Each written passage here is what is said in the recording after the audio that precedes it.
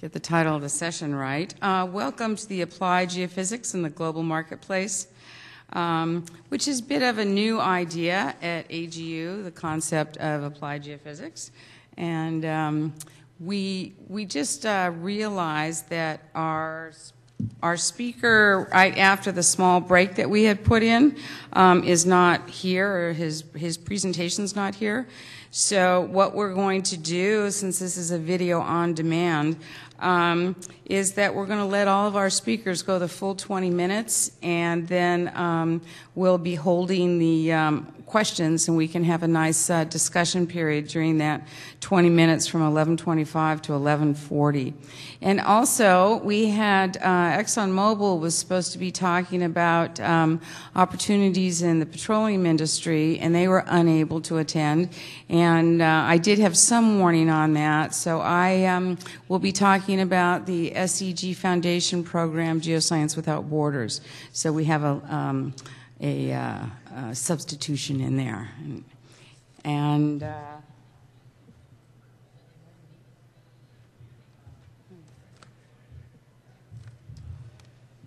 In our first speaker, who's an invited speaker, Jean Bernard, who's going to be talking about the work they do at IRIS.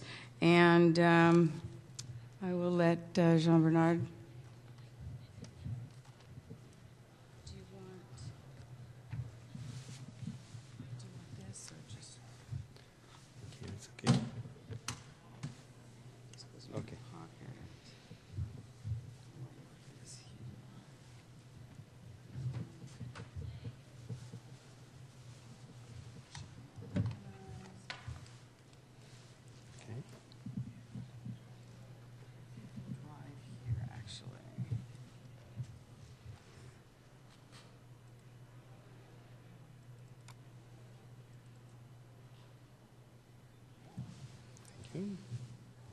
Good morning, everybody. Thank you very much first for AGU organization for having uh, invited us uh, to give uh, some talk about uh, the marketplace uh, issues uh, that we are facing in our business activity. So we are, uh, I will first describe a little bit who we are. We are a manufacturer of equipment, and I will describe that in the first part. Then uh, I will describe the, what are the applications which our customers are mostly using uh, of, uh, for our equipment. Then who are our customers? Uh, what skill do they need to make geophysical work, both in the field and uh, in the interpretation phase? Then what could be improvements according to our feelings on both instrumentation, software, methodology, and training. So who are we? We are a company located in France. We are designing, manufacturing, selling geophysical equipment.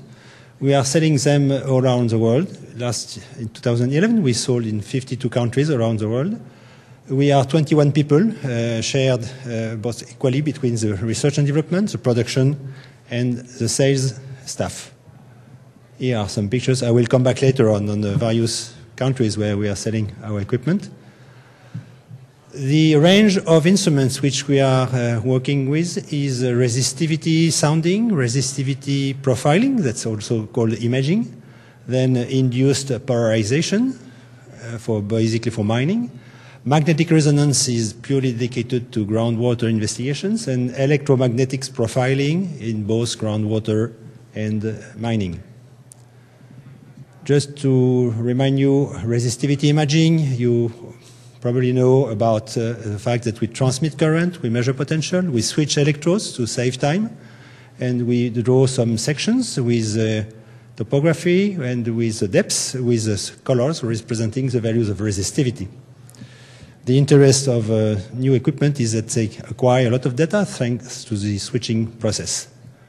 Can do 2D imaging by defining sequence of readings along a profile, or also 3D uh, by using several sets of 2D lines and also combining uh, transmitting, uh, transmission and reception on various lines, which can be parallel or perpendicular. Our equipment can be delivered with a certain number of electrodes, 48 to 120 or even more, uh, depending on the spacing. You know that in resistivity imaging, you have to define the depth you want to investigate and then the lateral resolution. You always have to find some geometry compatible with those two parameters. Then in induced polarization, we are working basically in the time domain, that is to say, we charge uh, terrain, and then we measure the discharge of the IP decay curve linked to mostly sulfide particles, sometimes to clay. We can also use various lines for 3D investigations, where we measure the potential on various parallel lines or also in some perpendicular lines. The transmitters can need more power than in the resistivity because we are measuring small parameters and we have transmitters up to 10 kilowatt with 3000 volts maximum output voltage and receivers with 10 simultaneous channels. Then for the magnetic resonance, it's a method which is purely dedicated to uh, hydrogen detection, that's to say groundwater, where we set up a loop on the surface of the ground we energize by a pulse at a given frequency, and we measure the signal coming from the hydrogen protons back to the same loop. The, so we measure the um, amplitude just after the current is switched off, which uh, gives us an indication on the water content, and then we measure the time decay, uh, time constant of the decay, which is related to the permeability. That's the equipment in a one-channel version. We also have multi-channel versions. Uh, electromagnetic system is a frequency domain electromagnetic, multi-spacing, multi-frequency, where we have a transmitter uh, which is carried out, which is transported by an operator, and then a receiver at a certain distance, which is called the spacing, with a cable between the transmitter and the receiver. We change the frequency and we can modify uh, the frequency so we change the length of the cable, sorry, and we can modify the frequency, and we also measure the three components of the magnetic field as a receiver. Uh, this is a diametric diagram, usually transmitting a vertical magnetic moment and measuring the three components of the magnetic field with spacing between 20 meters and 400 meters, and frequencies for 100 hertz to 50 kilohertz. Now, what are the applications of uh, uh, our equipment, which our customers are making mostly in the marketplace? Uh, of course, geophysics is detecting something into the ground. It can be a resource or it can be cavity, which usually is not good. A resource is good, like water or like mineral. That's an example uh, in Africa where the method is uh, resistivity imaging is used for detecting faults. This is a nice example with high, very high values of resistivity to basement and a conductive fault uh, showing where we can put the borehole to try to find water. That's an example in the environmental field uh, where we uh, try to detect the uh, lateral and vertical resol uh, resolution, not lateral situation of a disposal area, which is usually very conductive because of the conductive lixiviate with high temperature and with salinity. An example of resistivity imaging in uh, Brazil for mineral exploration for detecting uh, dike, which appear to be conductive there very clearly among more resistive rocks. That's uh, in Africa, where a company, a cement factory, uh, bought an equipment for trying to know where was the limestone, uh, what was the overburden, how thick was the overburden, which here is lateritic fields. Laterit laterite is very conductive, like clay. Limestone uh, appear as resistive, so we can follow by measuring and inverting the resistivity section. We can follow the depth of uh, the limestone, which is very important for the factory to know if they will exploit the limestone or if they will uh, go to another place, because the limestone would be too deep. 3D measurements are possible as soon as you have uh, enough measurements. Uh, nice thing is you can uh, get a 3D image for more clearly understanding uh, what is your structure. Also, 4D is uh, available for uh, repeating sequence of measurements. Uh, this is for a bioreactor uh, where there is an injection of lixiviate, and we can clearly follow with time where does the lixiviate goes to know uh, where the bioreactor will be uh, more efficient. So the, it's a way, you know, when working in those type of um, sites, you are not allowed to make a new borehole. You cannot know exactly what is inside except if you can measure from the surface and try to follow up what is happening inside uh, the bioreactor. this method is also applicable for uh, detection of what is under the sea uh, with certain depths of investigation. We are using current up to 50 amp to be able to uh, go through the highly, highly conductive uh, seawater. Induced polarization, an example of uh, both uh, conductive dike and polarizable, which correspond to sulfide and gold. This was obtained with 20 meter spacing by one of our customers working for a mining company. 20 meter spacing dipole-dipole, but 5 meters shift to increase the lateral resolution. Uh, for groundwater, uh, this is an example of mag magnetic resonance sounding in Mongolia uh, for detecting water in a site in the desert Gobi for a mining company. You know, mining companies sometimes need water to exploit their mineral uh, ore body. If they have no water, their uh, ore body has no value, so they need water. In that case, they can pay a big amount of money to know where is the water. And this magnetic resonance system has been used to detect the water and to minimize the number of holes for determining the quantity of water which can be obtained uh, from a sand and a gravel layer which was lying over a clay layer. Another example of magnetic resonance sounding in Chad, where water is uh, not very frequent, uh, for trying to characterize uh, the aquifer, uh, which appears here as the interpretation in the, the blue layer, and showing some uh, good permeability there, and trying to optimize uh, the number of boreholes for supplying water to a refugee camp. Now, that's an example of our electromagnetic system uh, with 50 meters, 100 meters, 200 meters separation to characterize a resistive basement, where we see clearly the influence of the spacing on the depth of investigation. All those examples are, uh, have been obtained by our customers when uh, working in the field, so we, uh, as we make training, I will explain that, we can sometimes get data and know what they are doing with, with their, our equipment. Now, who are our customers? Uh, basically, this is a breakdown of uh, the type of customers we are using. Basically, we have 50% of our customers which get their money from the states, and 50% which are private money. I would say about 35% in local authorities and state organizations like ministries, 15% universities and research institutes while for private, we mostly have pri small companies, private consultants and contractors for 35%, and 15% private companies like mining companies. So most important in the private business, for our equipment at least, is uh, consultants and contractors which are making the work, while the big companies are subcontracting to those uh, contractors to get the information on uh, geophysics. So geophysics appears in four, basically four steps. This is very simple description, where first geophysicist has to define which method has to be applied. Then second has to go to the field to acquire data, then process, invert, and then last phase, very important, how to integrate the result of geophysics with other geological information. We, in our customers, we have small size companies where most stuff is both field and interpretation. While for larger size companies, the experience is basically have a field staff purely dedicated to measurements and logistics, and then interpretation staff, which has to follow, of course, the measurements, but which is in an office, while the field staff is working permanently in the field. And the trend is sending data by email for controlling by a manager, just to be sure that the data is in good quality. Now, a key point I would like to emphasize is the training. We have two types of customers.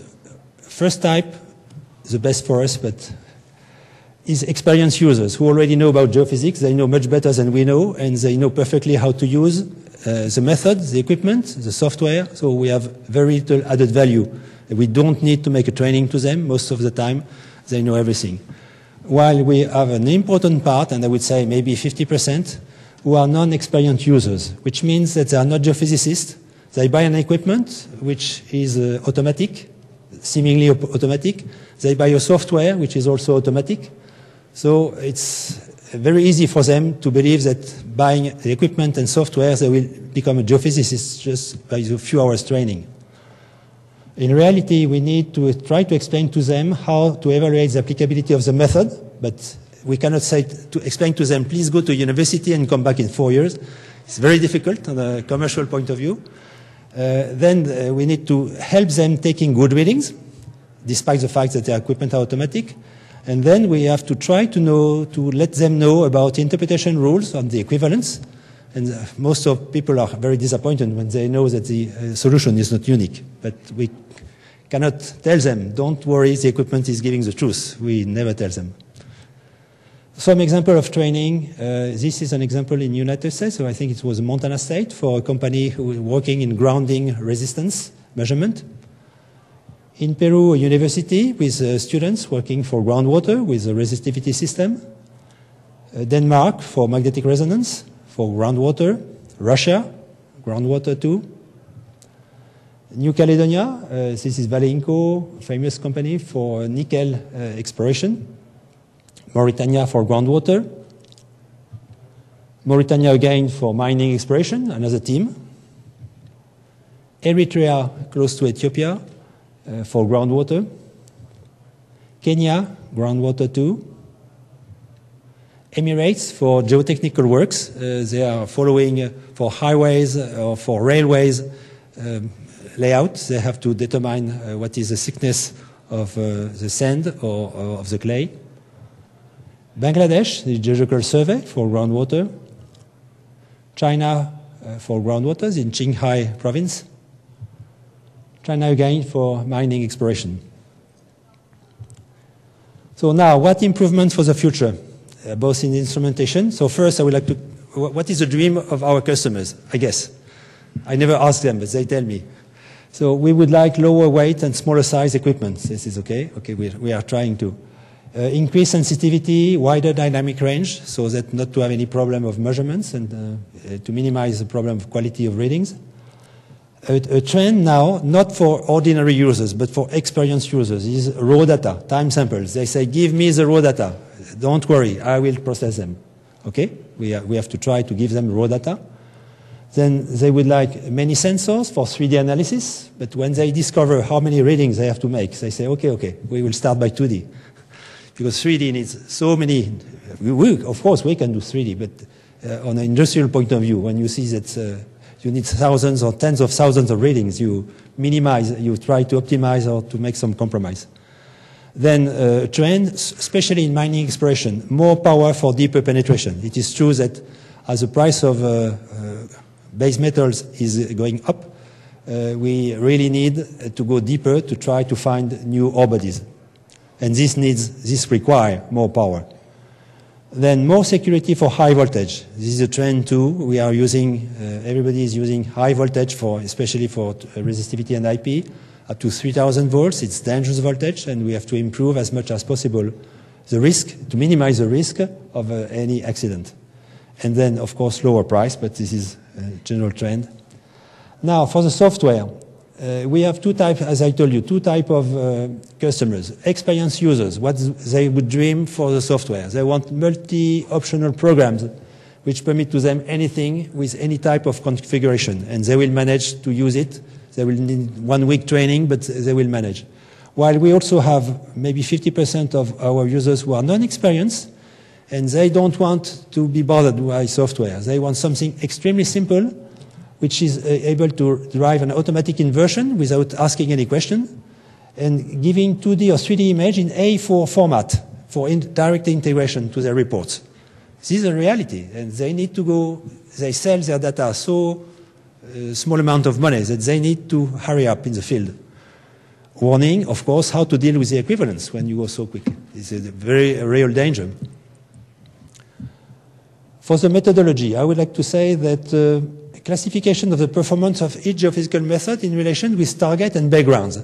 This is also a dream, but we have to try to help all the community has to try to help uh, people to know uh, for a given target, for a given background, what is what are the best methods to use.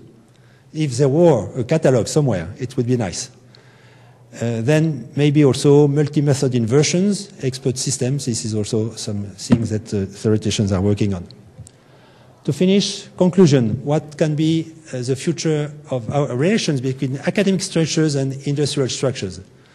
I think, of course, academic need to help the uh, commercial and industrial world, first to develop new methods, because private companies are not always uh, capable of developing new methods, and also to establish and control the state-of-the-art rules for applied geophysics. I told you more and more geophysics is made by non-geophysicists. And we need to be as clear as possible as what can be the rules for saying that are making good measurements, good readings, and good interpretation. Thank you very much.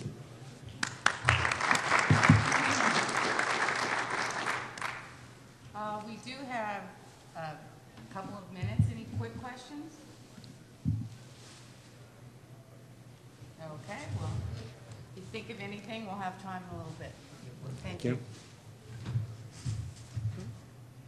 Do you have questions, sir? No, no, Okay. I I just wanted to ask this trend in, um, you're seeing in groundwater, um, or, or are you seeing a trend in increasing groundwater, um, requests? And if so, who's actually paying for that? Is that governments, companies? Okay, uh, of course there are needs of water, but uh, for a market you don't need also only to have a need, you also to have a financing source. So uh, unfortunately in the world, people who lack water, they have no money and not, not so many organizations are paying for them. So they need water, but not, you, you know what I mean. In industrial, in developed countries, water is not really a problem of quantity, except in some places, but it's more a problem of quality. And the, the big business, I think, in water in the future for developed countries is more the control of the qualities than the control of the quantities. This is my feeling.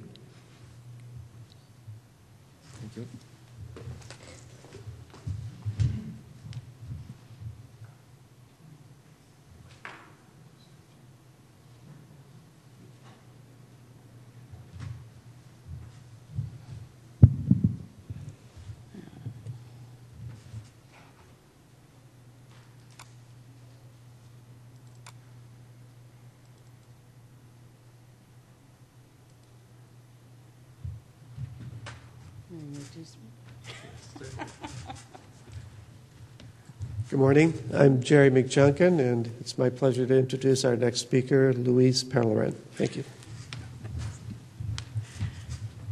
Hate to introduce yourself. Um, as I said, um, this is a, um, a substitution. Um, the um, uh, ExxonMobil was going to be speaking about uh, petroleum exploration, and they couldn't make it. And um, sorry. I had that happen. Um, and so when I found out there was going to be an opening, I contacted the program manager at the SEG Foundation and asked her if she would send me a talk on um, Geoscience Without Borders, which is a program very near and dear to my heart, and I thought you guys would find of interest. Um, so, Geoscience Without Borders is a humanitarian program that was started um, in 2008 um, at uh, the SEG Foundation, and it is a, a fairly unique program in trying to link up um, what we can do as geoscientists to help soci, um, uh, societal needs. And it is an international program. Um, it's, uh, it's got pro- uh, projects going on four or five continents at this point, and some pending. It was started um, after the tsunami in uh, uh, Southeast Asia. Uh, Schlumberger had uh, a seismic survey going on out there, but they wanted to do more. And um, Craig Beasley, what does this keep going ahead on me? Um, Craig Beasley, um, who uh, I believe he's the chief geophysicist at Schlumberger, went to their board and says, "What can we do?" And Schlumberger kicked off the program with a million dollar grant over five years.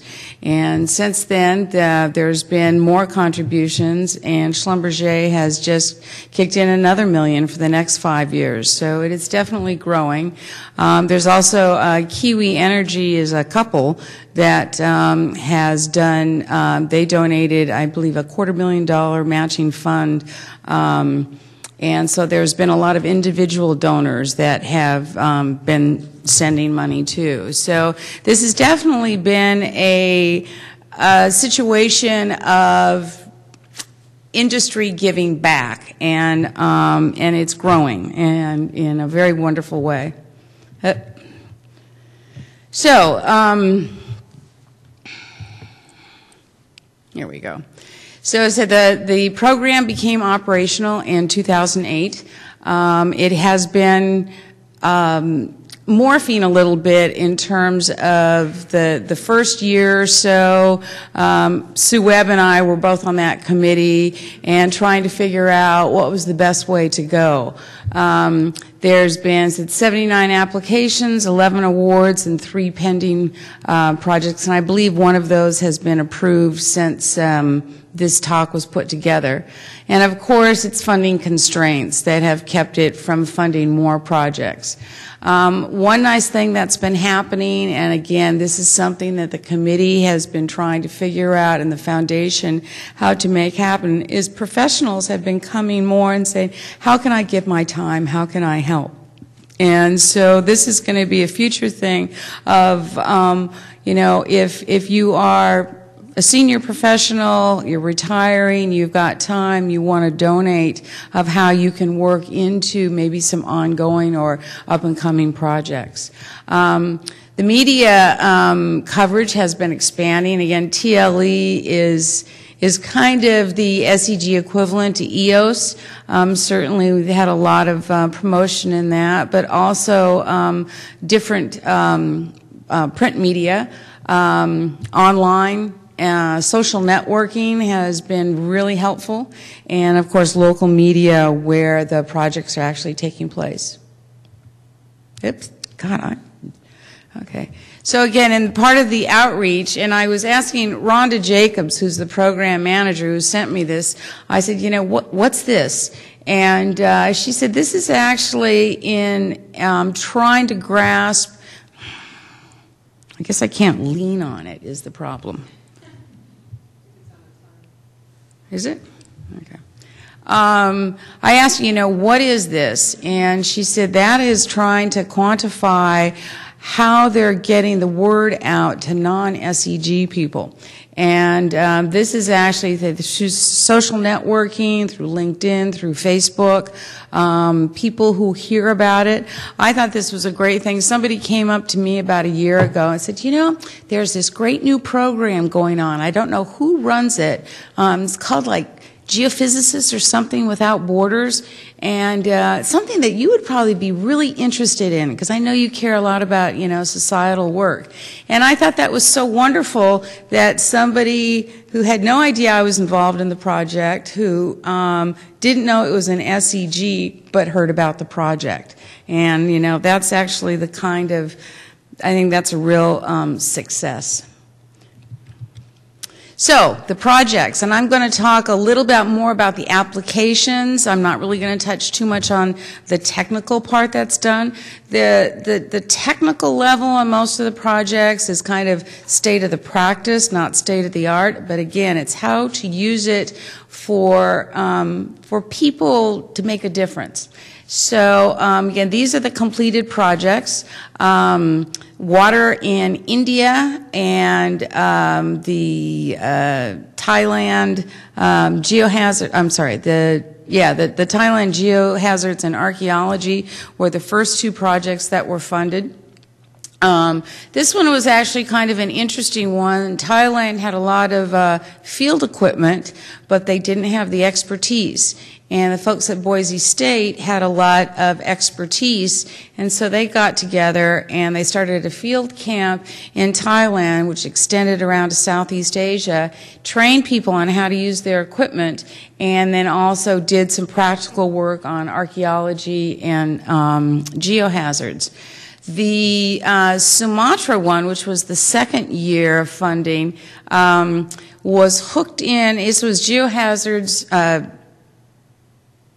Geohazards International um, was the company, uh, the nonprofit that was funded on this. And I actually just got an email from the president a couple of days ago um, talking about how the project as is uh, continuing uh, past it. It's hooked in with Stanford and uh, the engineering group there who's doing kind of similar work. And the idea is building vertical structures um, so that people have a quick escape route, that they can just go up um, when the water comes in. And the, the technical part that was funded by Geoscience Without Borders was actually looking at, um, given a certain earthquake, dimensions and size, uh, what level of water could they expect to come in. And so it was a combination of the geophysics and seismology and also oceanography. And again, it was a part of a much larger program but it was a key part. And so that was, again, you know, it was a kind of a stone soup that brought it all together. Um, Romania, this is a, a, mining area where there was a lot of uh, tremendous amount of pollution, so they were able to go in, train students, and also quantify, you know, the problems they were having. Honduras, um, and I think I might have some slides on some of these now. I'm, um, uh, I know I've got some on this one, this one, this one. So, um, yeah. So, um, Honduras was actually a, a um, geoscience, um, no, Engineers Without Borders project, uh, where they were going in to put in um, water to a village. And um, they needed the geophysics to help guide them on where to put the water. So the water in India, again, this is one of the first projects done. Um, Stephen Moysey at Clemson University was the lead on this. And they went in with an EM38, um, a pretty simple uh, loop-loop EM system. And the idea was to train the villagers and guide them on um, where the soil uh, was best for um, their runoff, for, um, you know, quantifying where's the best place to plant, where's the best place to control their water. And um, there was a portion of it where the student who um, was um, linked into this community, one of um, um, Clemson's students, um, was able to actually work with the villagers and train them on how to use this so it wasn't just a Westerner going in, doing their high-tech stuff and leaving, but actually leaving them with some real technology that they can continue to use.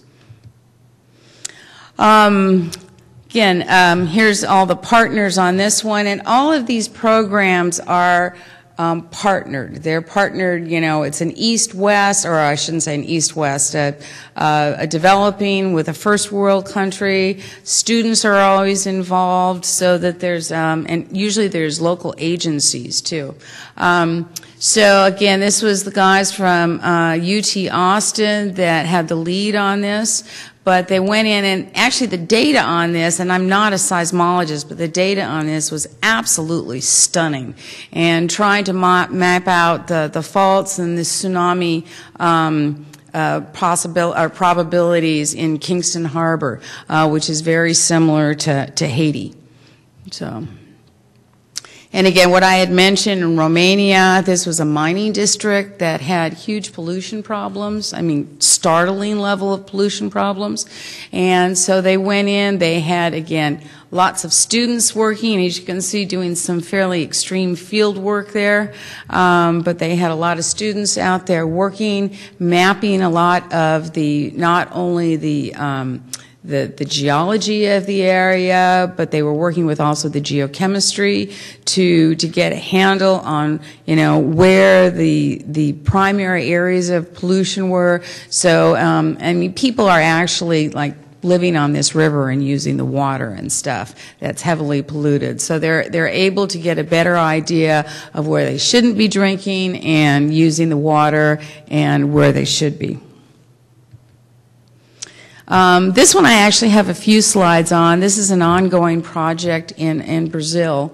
Um, of course, the, the map, I, I, am um, trying to think exactly where this is. This is uh, inland a bit, um, they have tremendous landslides areas. This is a very poor region where there's no zoning to speak of. Um, people just, you know, build their little places to live and stuff, and then these landslides come and they just absolutely wipe out um, very large regions.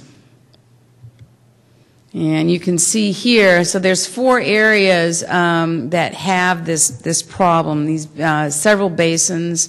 Um, four of these have been chosen to study, and this is what they look like uh, when all is well. And they're, you know, so they're very rural areas. They're doing a lot of agriculture, and um, and then they get a heavy rain, and it looks like this. And I mean the destruction is just, you know, phenomenal, and the death toll we don't even know.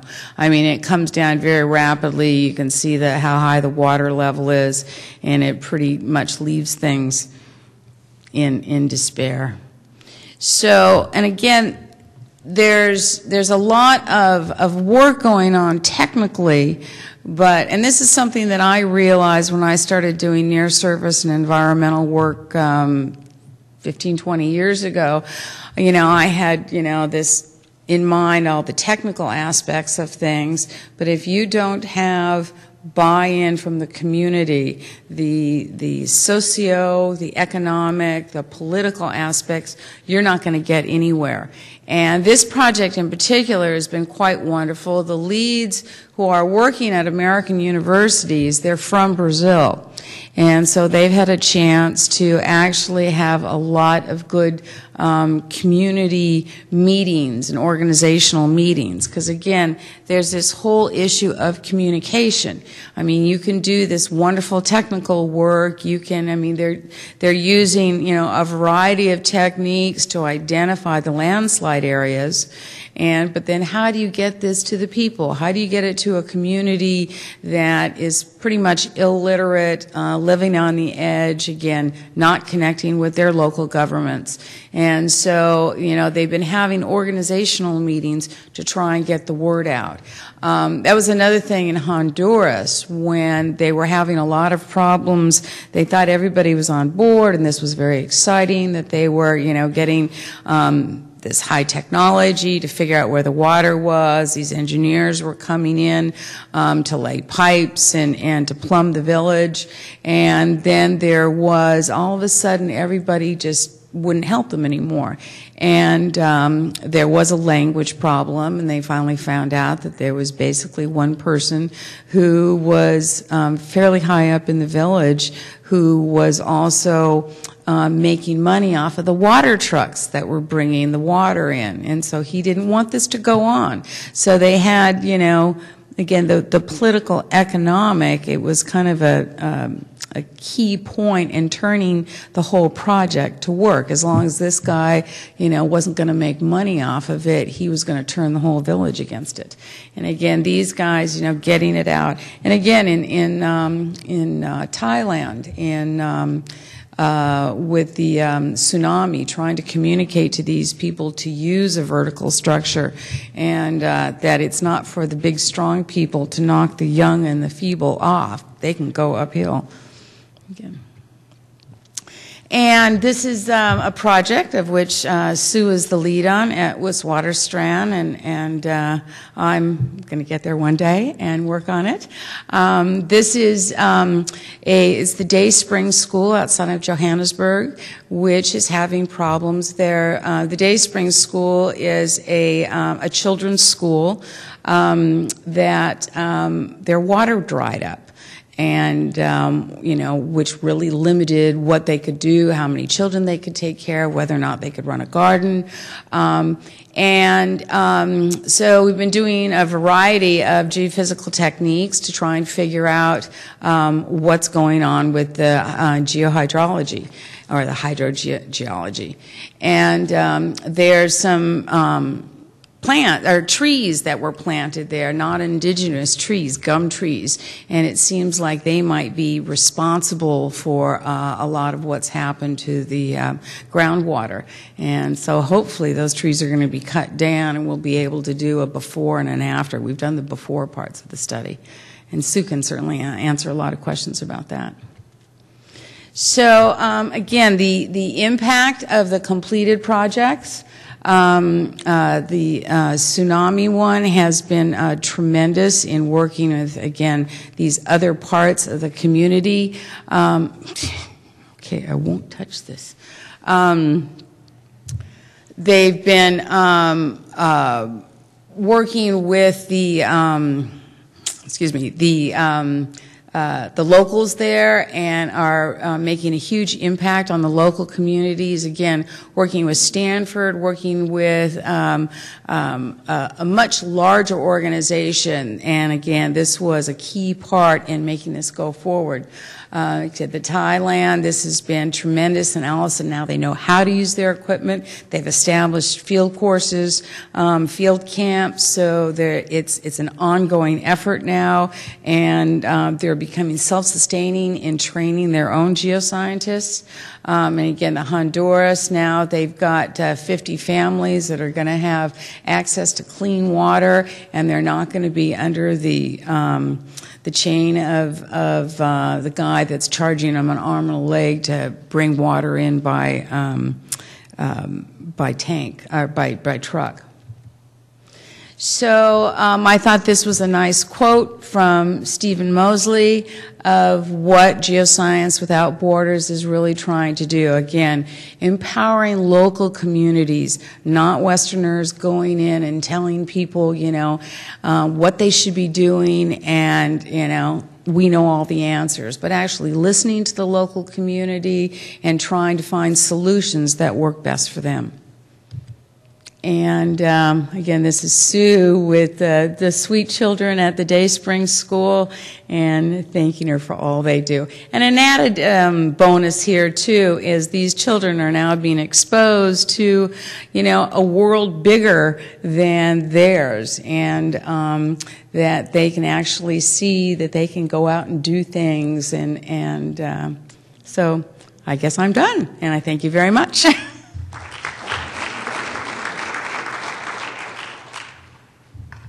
this just seems to keep going. Okay. Any questions?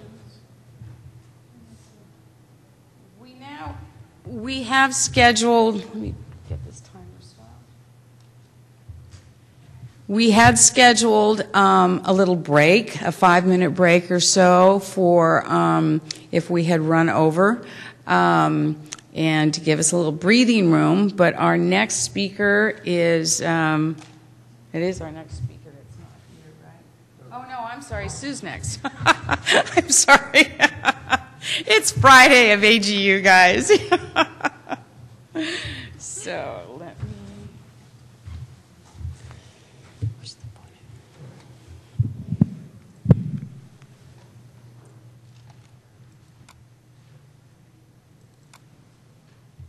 And it's the top one. And um, I've kind of already introduced her, Sue Webb from Witwatersrand. Thank you so much, Louise. Um, I'm going to be talking today about our geophysics field school, and I'd like to just introduce the field school a little bit to start with, what the purpose is and how we've developed it over the years, and then I'll go into some of our results. Keeping in mind that the geophysics field school is main purpose is about training students, it's um, quite interesting that we're now getting some data out of it that I think um, is becoming much more interesting to the mines. So we're we're moving geophysics from a training to exploration and really into the application on the in the mines in South Africa. So the field school is very international. It's probably one of the most international experiences I've ever been involved in. This is from a few years ago, and we can see the flags of all the nations of the students that were participating.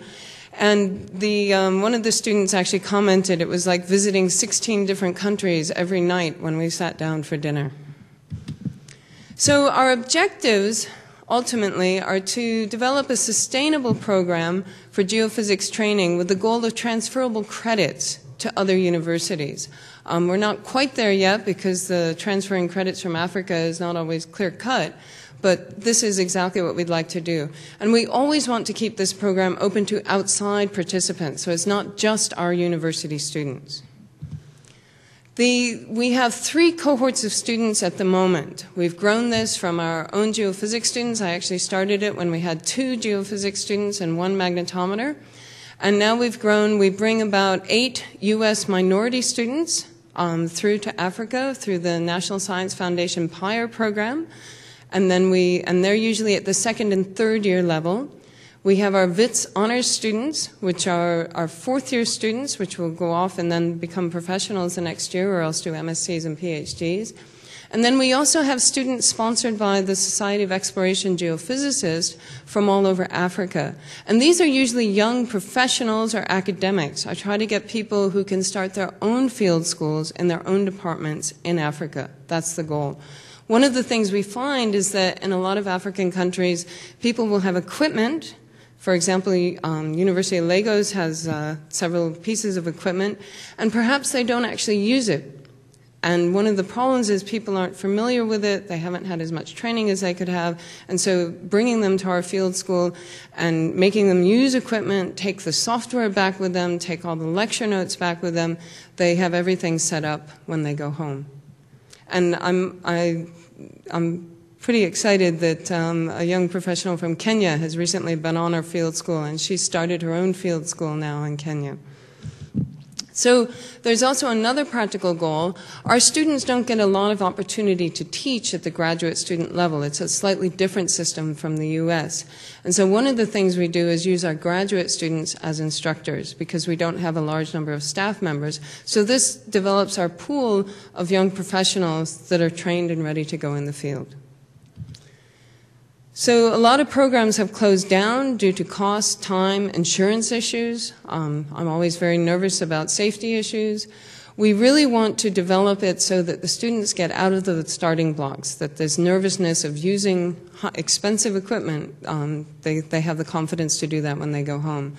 Um, we also try to use as much freeware and in-house software as possible so that students, when they go back, they don't have to be dependent on expensive software. So the practical goals turn out to be we want to solve typical um, problems encountered in the mining industry. And you may ask why the mining industry? Because they give us a place to stay that has a large number of toilets. You might be surprised that the constraining feature is how many toilets do you have for 30 people? So some of these might be, for example, how thick is the overburden? They have a lot of dikes in the area that um, cause loss of ground issues. Additional structures such as faults that might be carrying water. Dip of the ore body, if they're, um, for example, we did an open cast project this past year. And water is also a big issue if it's associated with the structures or they also need it for mining. So here's where we are located. We're in Johannesburg, and we usually drive up here to the um, Bushveld complex, and we've been working mainly in the um, northeast Bushveld complex. Oops. Sorry. and um, this is just a zoom in on the Bushveld complex. We're usually located, we have a exploration camp that we use around about here, and we've been working on the mines in this area and these are platinum mines. So this is an example of one application that um, I found quite intriguing over the years. What usually happens is head office will send the geologist in the field a map like this, an image, not the actual data, and the mine geologist, or maybe occasionally an interpretation of this, will need to use this for mine planning. So this is an example we can see very faintly here, maybe, um, we've got some lines, yes, I see the green line here. This is the ore body that they're mining. This is the what we call the UG2, and it's going down dip this way. And these dikes cross-cut it. Well, obviously where there's a dike, there's no platinum. And the, that is also quite, um, the dikes also cause a lot of um, breakage around the rocks. So there are safety issues associated with these dikes and mining. So the mine starts over here. We can see the, the whoops, jeez. The mine is um, located here, and all the black is where it's mined out. So we actually have quite an extensive mined out area. And we can see the development is now going into the new the this dike over here. And so our field school was located in this area where they were. This is a development um, portion of the mine, and then they're going to mine up dip and down dip. And so they wanted to mine this way, and they wanted to know what is going on with this dike over here, because when they went through this dike, it was five meters wide, but when they went through this one, it was 20 meters wide. And they said, Whoa, what's going on? We, we didn't plan that because on the interp that they were given, it looks like the same width. So in our field study, we, um, we went over this dike here. We had a big grid over this dike up here and a little bit onto this dike. And this is what the ground magnetic looks like on a couple of the different profiles. And you can see it's actually bifurcated into a number of dikes. These are several dikes side by side. And on the ground mag, um, I like, I always tell the students I like to look at profiles because on the ground mag even, this is kind of merged into one, one object. And so here we have, for example, the, the three different dikes contributing to that. And the Merensky, or sorry, the UG2 is actually dipping towards you. And you can see how there's actually platinum in between these dikes that you could mine that the mine wouldn't have known about if they had interpreted this as a much wider dike. So here's another example where I've made it very clear to the students we need to look at um, individual profiles. This is the aeromag again. We see we have some north-south dikes that are very, very prominent, and an east-west dike that's not so prominent. You would pick it, but you might not um, pick some of the other features we're going to look at. So these are just the diurnals. We also collect daily diurnal data to make sure everything's okay. And we do leveling, so the student data often comes out um, looking a bit funny, and, but we repeat data every single day. We try to do best practices, and so we repeat data, we make them level it by hand so they understand how it all works. And then we zoom in on the actual profiles. And this is the north-south dike, the big prominent dike, and then these are the east-west dikes when you do a profile fence plot.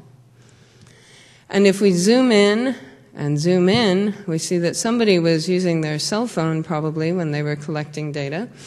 And we can start to see some interesting structures. I mean, this is the main dike. Well, we know where that is. But look at these peaks that all line up. So if we filter the data a little bit, we can really start to see these.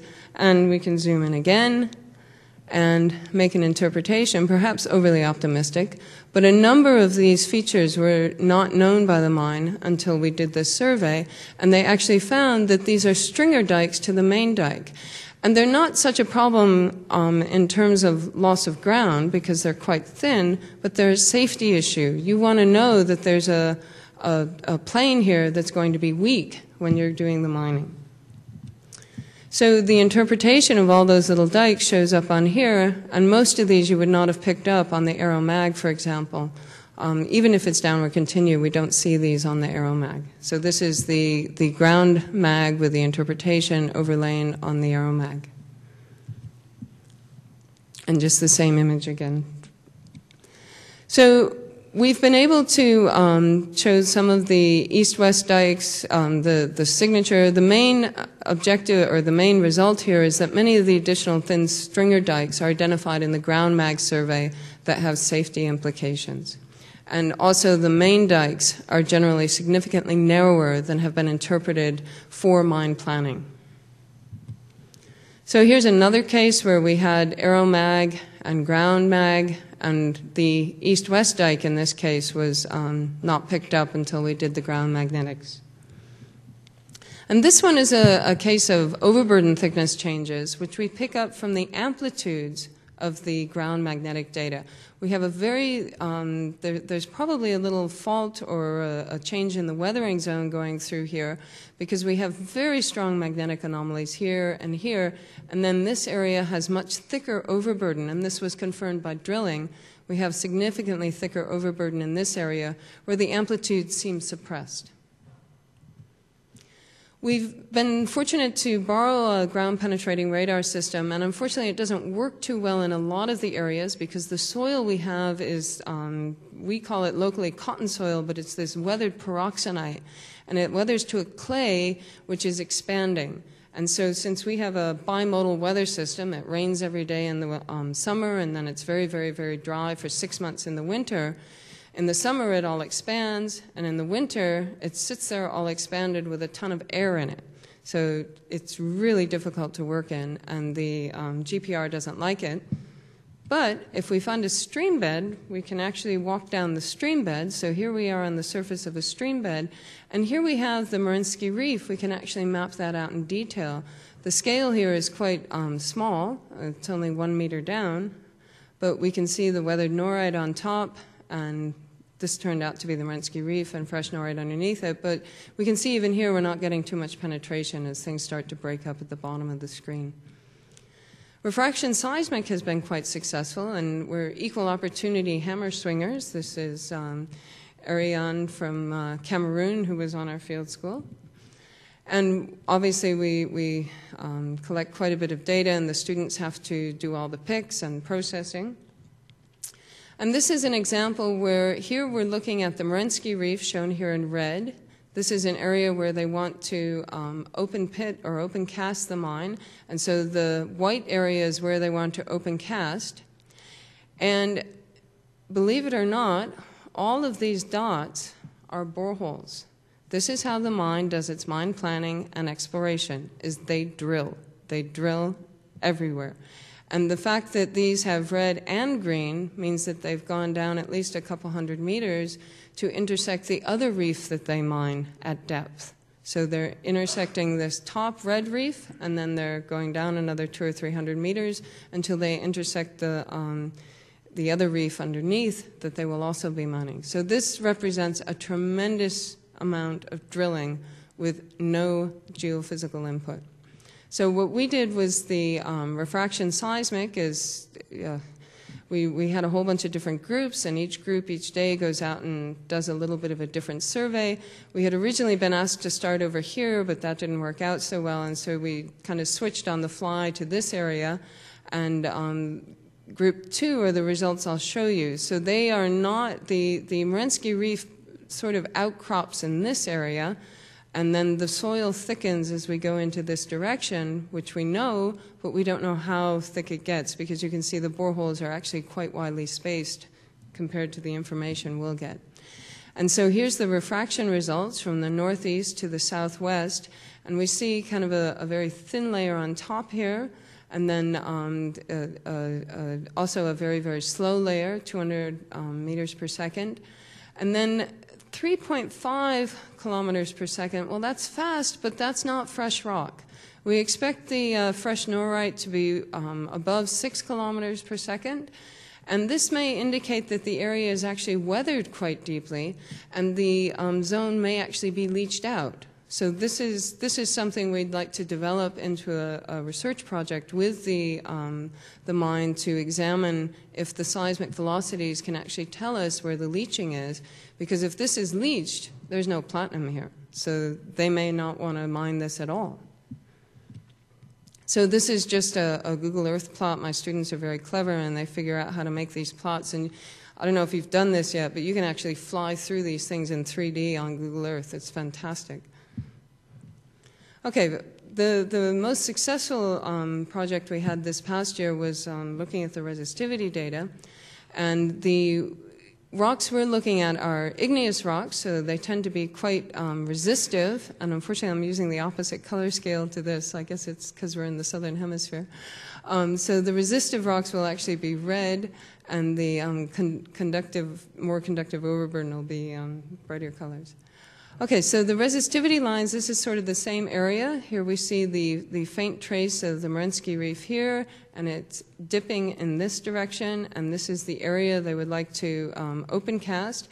And we can see we have a dike coming through. We did try a couple of lines over the dike. Um, we can see the dike is actually remnantly magnetized. We have a whole study we've done on the, the remnant magnetization of these dikes, which was quite exciting. Um, but the dike didn't show up very well on the resistivity, so we swapped over to this area. And here we've actually gone over where the Merensky Reef is, and on a couple of these lines further this way, it actually outcrops. So we have a, a real good idea of where things are. And so this is just the Google Earth plot. Um, these are, are fence lines made out of thorns, so they're actually a little bit complicated to get through. And this is um, day three, group four's line going in this direction. And it's quite interesting to see the um, more resistive um, bedrock here. And we see a very strong step in the bedrock, almost as if this, and this is going into a valley somewhere down in this direction, is actually a, a dry riverbed. Um, and it's almost like this has been a nick point in that valley. So we can trace this out pretty well where, again, we don't have a borehole on this line, so we don't know how fresh this material is. This is the line closer to the outcrop, and oddly enough, we're seeing this um, resistivity image break up. It's interesting that the Merensky Reef actually outcrops right here. So there is some kind of a, a very weathered zone on top, probably quite fractured, and I'm not sure if this effect is because of um, some conductive minerals in the Merensky Reef, which is basically dipping like this, or if there's actually a fracture there that we've encountered. This is the one borehole that we had on the single line, and we can see at this depth is where the geologist said it went from weathered material into fresh material. Um, I would like to see a thin section of the rocks before I called that fresh, especially based on the resistivity and the refraction results. And this is one more line. The outcrop is again here, so all of this is on outcrop, and here's where the soil really starts. And we can really map that soil outcrop um, interface pretty well, although it is quite gradational.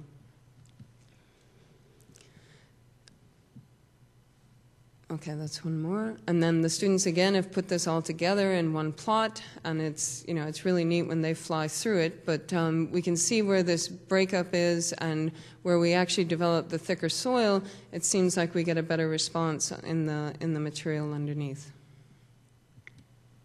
Okay, so if we combine all of those together, we can overlay the refraction seismic results with the resistivity results on our little borehole. And everything pretty much agrees that this is where we go from really um, soil into rock, but I, I, wouldn't call this fresh. And I'd like, I've suggested to the mind that they actually look at um, some thin sections to try to see how weathered this is. And we'd like to do a project combining resistivity and refraction seismic as an MSc project. Of course, we're asking them to sponsor this um, to try to sort out how, how useful this will be for their um, open cast mining operations. Okay, so applications. The ground magnetics has been very useful for delineating the dikes, largely their width, and especially for finding stringers, which cause safety issues. The ground penetrating radar um, has been a little bit useful for um, you know showing students what the Merensky Reef looks like, and also we've used it a couple times on um, bridges in the area just to look at the bridge structure internally because some of these bridges get pretty degraded out in this remote area. The refraction seismic has been very useful for mapping the overburden and possibly the weathered zone. We'd like to find a place where we can see how that weather zone varies into um, a fresher rock area. And then the multi-electrode resistivity, it's, it's, quite rapid. We've got one of these multi-electrode systems. I'm, I'm so impressed with it. What used to take us four days with our single channel system now takes four hours. You can't imagine how exciting this is. so it's a rapid method for mapping overburden. But we do have to be careful. What we've found is that it works great, but if we have any of that cotton soil, the resistivity just, we cannot get any um, energy into the ground. So we either have to go out there in the rainy season when everything's soaking wet, which is great for the resistivity, it seems to have no problems, or um, stay off the cotton soil, so which is hard to do in an area where there's tons of pyroxenite. So. Um, I'd like to point out we do have the Africa Array meeting. This, this um, project is um, part of the Africa Array program that's coming up in 2013, January 2013, if anybody's interested. It's a free meeting. Um, there's no registration fee. We put everybody up in the, um, in the dormitories, so it's very, very cheap. Also, our field school is every year in June and July in 2013, so if you know of any candidates that are interested in coming, please let me know. We do accept a small number of sponsored um, corporate people. Um, sometimes companies have hired somebody who doesn't know much geophysics, and they find the field school is a very effective um, place for them to learn some things. Obviously, we have a lot of sponsors. Um, this is a big group of people. I usually take 32 people into the field um, with seven different methods, so it's, it, it is quite a complicated logistical nightmare. And um, so we, we have a lot, a lot of people to thank. And that's all. Thank you very much.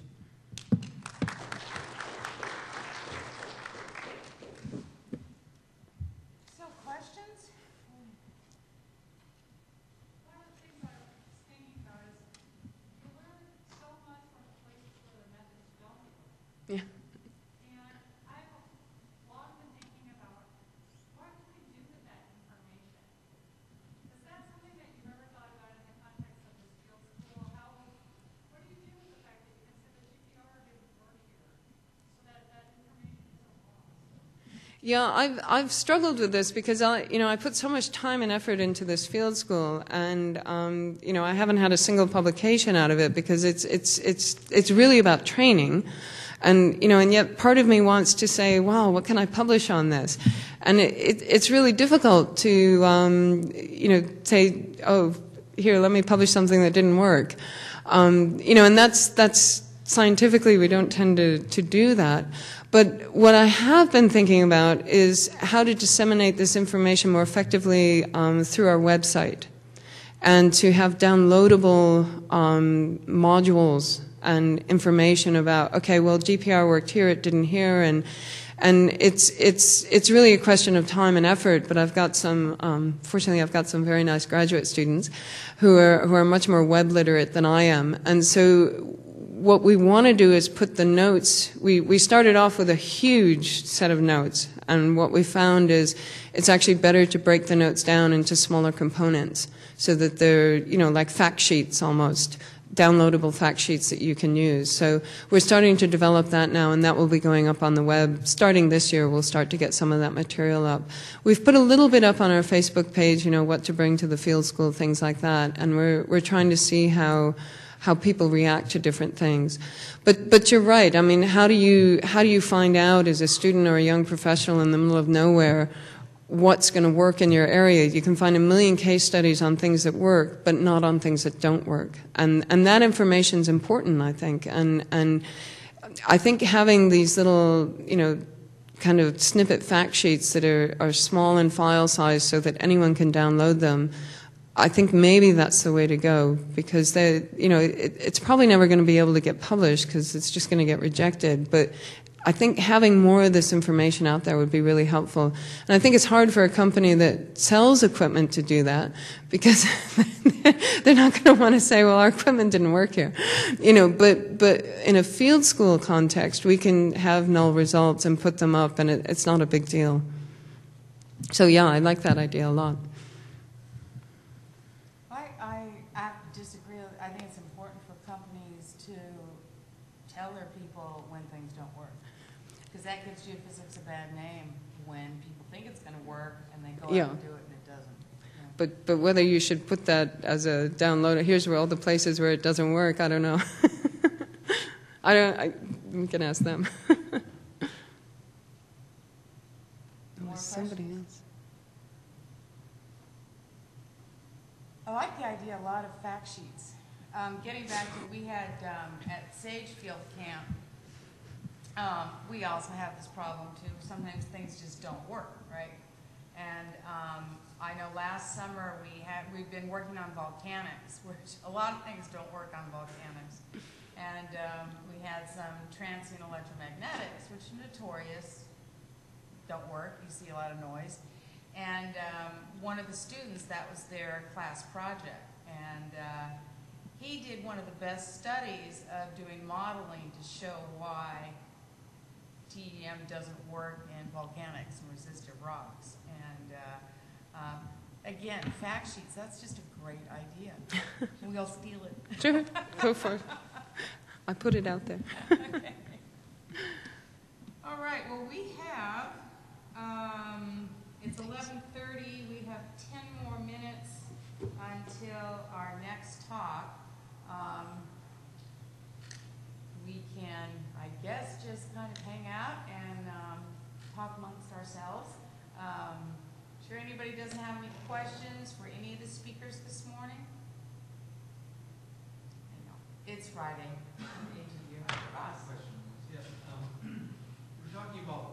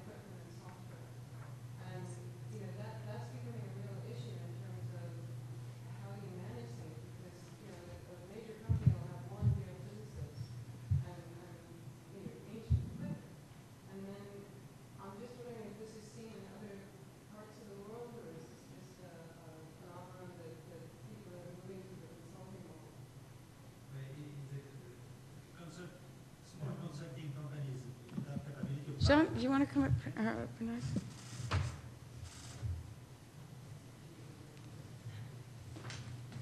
Maybe repeat the question a Yeah. little bit? Uh, the question uh, was about the fact that uh, some big companies do not have so many geophysicists and they, they ask for consultants to make the work. Is it correct? So, uh, indeed, it's not easy for those small consultants to buy equipment, but they also always have the capability of renting. And a rental is something which we develop more and more, sometimes for mining companies themselves, sometimes for subcontractors. Uh, the theory between buying and uh, renting is uh, we, we always say to our customers, please do what you want. Of course, you decide, you are the customer. You can buy if you have money, or you can rent if you don't want to buy for some reasons. You don't have the money, or you have the money, but you don't want, you don't have the need of the equipment for long time enough for justifying the investment. But the problem when they decide if they did not buy the equipment and they want to rent an equipment and they have to start next week, sometimes we have no equipment to rent. And they will, they will understand that the deadline, they, why, why don't you have an equipment? Because it's already, uh, you, we don't control the equipment for you, or if not, you pay it the whole year, and then you buy it. So the fact for a customer to have an equipment is not only uh, not to pay when he uses it, but also to have it available when he wants. So, of course, uh, after two or three times when uh, uh, a customer has, uh, has missed a field survey because he had no equipment to rent, now he understands that sometimes he will buy in the future. This, we always try as a supplier to give the possibility of both, but we have a limited number of units for renting, and sometimes the rental is uh, problematic for the customers in terms of timing. Do do you, have you developed um, pools of equipment that you keep in certain areas that are are popular? Um, it, it depends on the efficiency of local. Uh, we, well, we have one or two, two or three countries in the world where we have rental equipment, but not so many. Not so many. Actually, Ross, you could probably answer that. I was going to say, as a consultant, I almost always rent, and that does have problems from time to time that um, customers want a survey done when equipment's not available. Hi, everybody. I'm Ross Johnson with Geometrics. We have a, uh very deep rental pool, and um, we have a policy where we allow 50% of the rental monies to go towards purchase. So this actually gets people to give it a try uh, and not make that large capital investment that uh, Jean was talking about. Um, so we allow them to uh, rent uh, a specific type of gear. It could be uh, seismic or magnetic or electromagnetic, and actually pay for it with the revenues from their survey. So this gives people the uh, advantage of actually uh, making money with the with the with the uh, systems and then being able to buy it from that. Uh, we have we have rental pools that we don't we don't directly monitor, but there are rental pools in England and Australia. Uh, some of our other uh, representatives around the world also has have equipment that they rent um, because it for that very reason of availability. Because if we if we don't have it available, then uh, uh, we lose we lose the opportunity to get that product into their hands. So. Well, certainly from a, okay, there, there are two different types of contractors. There's the small contractors, which we were discussing, then there's the large contractors, primarily in the marine venue. So this would be the seismic contractors and the uh, marine and airborne magnetometer contractors. so they've pretty much, the, the mining companies um, have pretty much uh, shifted away from, oh, thanks. Oh, thank you. Shifted away from doing the work themselves. And um, I think the reason is because it's a very, it's a very special knowledge. Uh, and often the uh, surveys are not concurrent, so they would have to maintain staff uh, through times when they when they weren't being used. So the the uh, the large survey companies like Gardline and uh, uh, uh, GECO and, and, and so forth. These, these companies actually uh, have many different clients and therefore are able to maintain the, the equipment, keep it up to date, keep up to date on the software, keep many things. Uh, you know, equipment ages, it can be damaged by uh, inappropriate use, and uh, so uh, it, it provides a much, typically a much better result if people are focused specifically on running the equipment and getting, getting good data. Yeah. You can stay there. Oh, You're okay. next. Okay. Okay. yeah, typical. I was going to say, though, for a small contractor, it's very expensive to maintain your own equipment. Right. And it's also easier for, you know, you guys fix it and you guys maintain it. Uh, Just to comment a little bit more on that, th- that's another thing that we see that our equipment that we rent actually performs, we think, better than some of the uh, rental companies that we sell to. The reason is twofold. First of all, we maintain it at the very highest level, and if there's uh, something broken or uh, we're suspicious, uh, we also have the technique to analyze its performance. Whereas the rental company uh, may not know about those things, and second, secondarily, they may not be able to support the customer fully in knowing exactly what you were talking about. Is this piece of hardware applicable to this geologic situation? And many times they just have a for rental and they rent it, and uh, then then who, who do they who does the customer call? Us, because they're not getting the results they thought they should. So, okay. Well, Mark already introduced himself, so I'll let him go. Yeah, thank you very much. Uh, I work with a company called Geometrics, and uh, we've been in existence since 1969. And uh, we spun off uh, uh, from a, medical electronics company uh, in Palo Alto, and we've been uh, building magnetometers for 40 some odd years. We also build seismographs. We also build electromagnetic equipment. so what I'm here to talk about today, though, is uh, some sort of revolutionary advances that have happened quite recently. Uh, these are these are uh, technological changes which uh, we believe will affect everyone on some level or another. Uh, and that's a, that's a broad statement, but we, we feel that the uh, advances that we are seeing in, in microfabrication, uh, extreme miniaturization of geophysical sensors uh, can make a, a substantial difference in the way in which the world uh, is analyzed, and uh, security, and a whole raft of other applications. So I'm going to talk today specifically about magnetometers, but frankly, the microminiaturization aspect and the interconnectivity, which means that uh, sensors are strung together with uh, ever faster and smaller and lighter and lower power uh, networks, uh, is happening on a variety of fronts for us. So I'm going to talk about a specific uh, a project uh, that uh, we've been in- involved in for four or five years, and uh, uh, it, it does have some uh, relationship to what I believe people should be studying uh, in their education for application of geophysical instrumentation. So I want to talk about talk about how we find metals, and of course, um, one of the primary methods is airborne.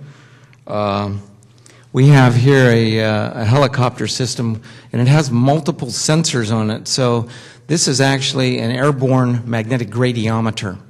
Now, uh, why would they put more than one sensor in the air, particularly when they're probably flying at uh, between 100 and 200 meters altitude? The reason is that the sensors are uh, they get a fine enough resolution of the magnetic field that even at 100 meters, we are able to see gradients over the range of a few meters. So these, these sensors are extremely sensitive and uh, are able to uh, help the interpretation. Uh, here's another example. We see here a, uh, a magnetometer, and then lower down is a transient EM loop. So this is approximately 45 meters in diameter. So these are large impulse type systems where um, a, a magnetic pulse is put into the ground, and then they look for the ring down of, of the electromagnetic signal in the conductor. But they must have the magnetometer as part of the system in order to help interpret what they're seeing. Uh, recently, the magnetometer has, has, has been lowered to closer to the electromagnetic ring. The reason is, is that they want to get higher fidelity, higher resolution of that magnetic signature. Uh, one of the uh, issues having to do with that, however, is that when you put a magnetometer close to a high impulse electromagnet of this nature, you uh, tend to knock it off lock. And uh, some of the things I'm going to talk about today have much improved that. Uh, we also have fixed wing aircraft. and even uh, uh, back in the day, this is a rather old aircraft that geometrics used to fly, but we had three sensors one in the tail and one on each wing. And again, the, the uh, rationale here is that we could actually see out uh, to the left and to the right of the flight line. We can actually uh, determine something about the slope of the magnetic field and therefore get a better analysis of the geologic structure. So what's, what's driving this exploration? Well, I thought I would grab a couple of plots of dollar values of metals. And here we see that uh, gold is up 500% in 15 years. Not all uh, prices of metals, of course, are driven by um, let's say, sane decisions, but obviously there, there can be political, geopolitical, and economic reasons why certain metals become more valuable, but just an increase of uh, uh, five times in 15 years is impressive. Uh, how about base metals? Of course, um, uh, magnetometers not detect copper directly, but base metal exploration is part of the magnetic survey regime, and we see that the uh, the price is up again five times in 10 years. What drives this? Well, we know that uh, electrification of rural, of rural communities is a big part of that. How about iron? Iron is a huge uh, uh, a source of material, of course, for, for economic exploration, I mean, uh, uh, growth. And so here we see it's up by a factor of eight over 10 years. Now, we know what's really driving this. This is a lot of construction in uh, third world countries, India, particularly China. Uh, but the, you know, this shows that, that the, uh, the, the, price of these metals is driving the, the, the primary exploration efforts. And in fact, I have a graph here of just iron ore requirements in China. It's a little bit dated, it's a couple years old, but you see that Back in 2005, they were, they were projecting a certain slope, and then a few years later, the slope had increased dramatically. I know that it's leveled out a little bit with the uh, world economic situation in the last couple of years, but still, i again, an impressive increase in demand.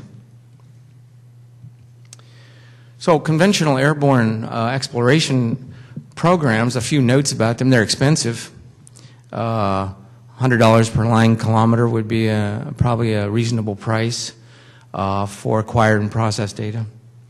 It's actually quite dangerous, and I'll say that every year we learn about some tragedy, and another one happened this year, uh, because in order to get the fidelity of that magnetic signal, the contractors want to fly low, especially if they're carrying gamma ray spectrometers, which uh, have a maximum altitude of about 130 meters in order to not have the gamma ray signal completely absorbed in the water column or the, uh, the, the humidity in the air.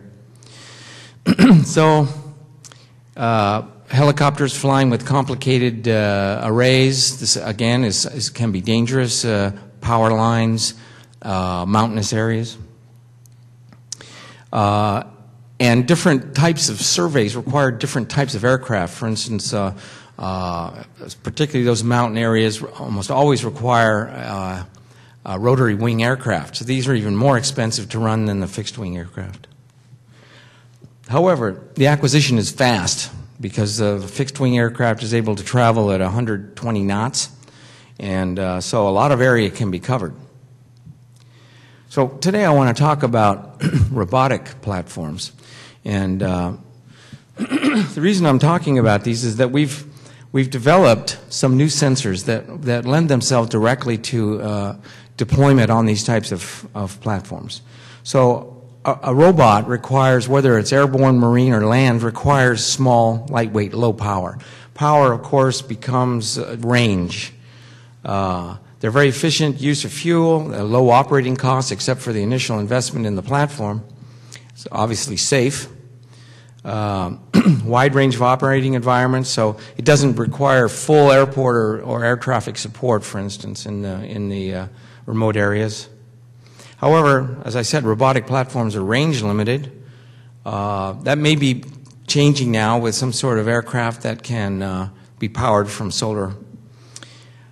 Part of the issues, uh, in, at least in the United States, are that the FAA controls robotic aircraft in uh, flight in uh, commercial flight airspace. So, uh, where we have done some, some tests and deployed these systems, I have some data, but it's, uh, it's been under, still under control of the government. So, robotic platforms, I just grabbed this, I just typed in uh, robotic vehicles into, uh, into Google, and this, this image popped up. Now, there are a couple cars. I bet these are probably Google cars.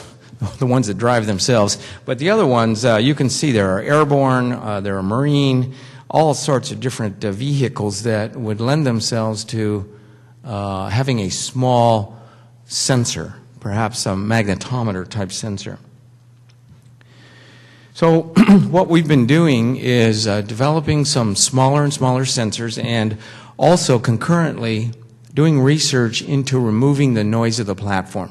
Now, this is key. If you think about some of those, uh, if I go back here for a second to some of these pictures of aircraft, you'll notice that the sensors are pretty far away from the engines.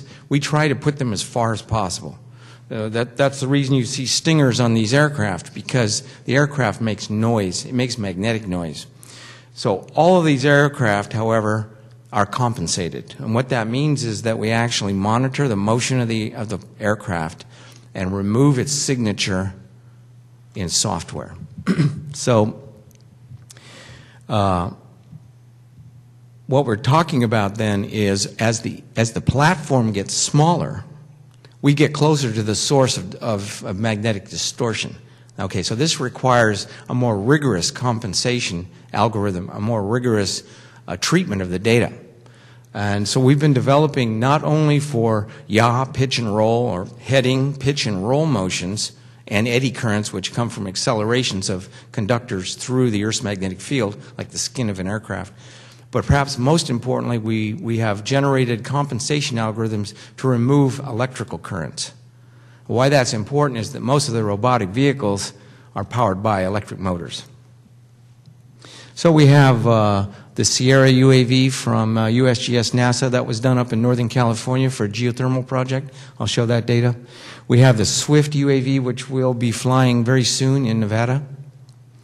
We have the Teledyne Gavia autonomous underwater vehicle, which was a two-year project that Geometrics uh, uh, entered into with uh, uh, Weston and University of Delaware. That was funded by the Environmental Security Technology Certification Program, ESTCP. Uh, we, have, we are in discussions right now and have mounted uh, magnetometers on the Kongsberg Hugin, which is an autonomous underwater vehicle, and a Hydroid Remus is another project. And uh, at the show yesterday, we demonstrated the first commercially uh, uh, available laser pumped cesium vapor magnetometer. Now, for years, uh, close to 18 years or so, we've been manufacturing cesium vapor magnetometers that are lamp pumped. A lamp means a fluorescent lamp. In the last couple of years, uh, we've been uh, developing laser pumping, and there are several reasons why this is uh, a dramatic improvement. And I'll go over some of those, but primarily they're smaller, lighter, less power, same sensitivity, and volume production will drive down the price. So compensation software is a crucial component, and we've developing, we're developing this in conjunction with the hardware. Here's an example of uh, a compensation test. What we see here is the red line is the raw data. So as the aircraft or the autonomous underwater vehicle rolls, we see a large transient response in the magnetometer, and then there may be some pitching motion, or this may be, uh, I, am not sure exactly whether this say we're going west and we head south, and suddenly we get an offset or heading error due to the vehicle permanent and induced effects. Simultaneously, we, uh, uh, we might, uh, well, I, what I wanted to show here was that when we apply the compensation, we remove the majority of the effect of the uh, orientation of the platform. So we can see that when we have as much as 100 nanoteslas of offset due to the orientation of the air, aircraft or autonomous underwater vehicle, we can move it. We can move it into the range of just a few nanotesla. So typically, our compensation algorithms can make an improvement ratio of around 20 to one. So if we can get if we can get the aircraft or autonomous uh, vehicle into that range of around 20 nanoteslas of heading error, then we can move it into that sub nanotesla noise level. We'll also see here some uh, what appear to be random spikes, and uh, this particular aircraft was not compensated for electrical. Uh, this was actually done on a, an autonomous, uh, excuse me, an unmanned aerial vehicle. This data is from an unmanned aerial vehicle. Uh, it comes from um, one of the large oil companies.